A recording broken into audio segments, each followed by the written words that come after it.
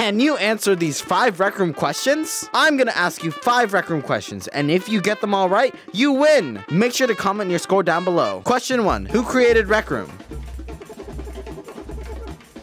And if you answered Gribbly, you're correct. Question two, how many flags do you need to win the game paintball?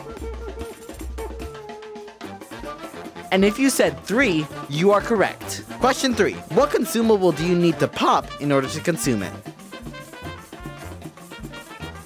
And if you said bubbly, you are correct. Question four, what quests can you find mice bots besides Jumbotron? I'll give you a hint, you can use swords in the quest.